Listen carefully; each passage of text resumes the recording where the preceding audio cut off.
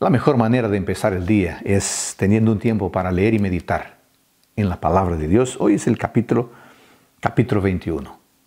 Hemos leído varias veces hasta ahora que la tribu de Leví no debería tener parte en la herencia con sus hermanos, ninguna parte específica del país destinada a ellos, como ocurrió con las otras tribus que recibieron su tierra, su territorio.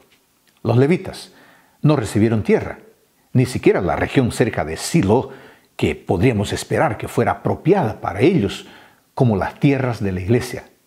Pero, aunque no fueron lanzados dentro de una determinada región, parece, por la provisión hecha para ellos y narrada en este capítulo, que los levitas no perdieron nada y que las otras tribus fueron las grandes beneficiarias por la dispersión de los levitas. En este capítulo, el 21, tenemos los siguientes temas. Primer tema, el pedido que ellos hicieron para que tuvieran sus ciudades, los levitas, de acuerdo con lo que Dios había ordenado. Número dos, el nombramiento de las ciudades en las diversas tribus y su distribución a las respectivas familias de esa tribu.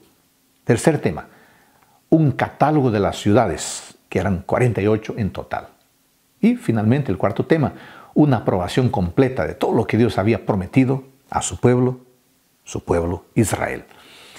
Las 48 ciudades fueron distribuidas, divididas de la siguiente manera.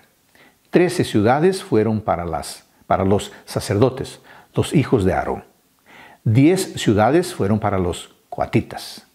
Trece ciudades para los gersonitas y doce ciudades para los meraritas. Al leer todo esto, amigo amiga, yo pienso en lo siguiente.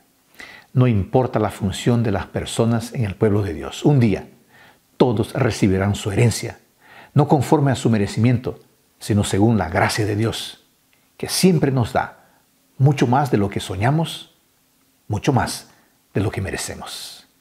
Que el Señor te bendiga.